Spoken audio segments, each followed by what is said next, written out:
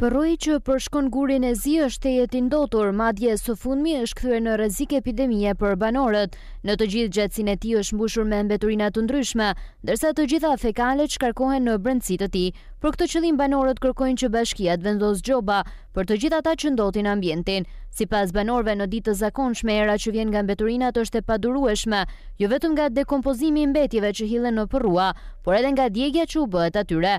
Banorët që kanë ngritur shtëpitë e tyre pranë përroit, duke harruar që janë edhe vetë ndotës, kërkojnë me ngulm pastrimin nga pushteti lokal. Kur ky ka qysh me lërë hoqën, më bëllë.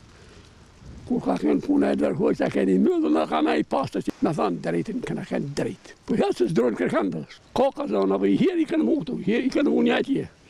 Po nuk i tresin horat. Përrenjtë e fshatrave dhe kanalet kulluese në bashkinë Shkodër prej kohësh kanë rënë pre e ndotjes ambientale ndër vite. Pra, këtij fenomeni nuk i ka shpëtuar as përroi i Gurit të Zi, i cili është shënjestruar si vendqëndrim i mbeturinave.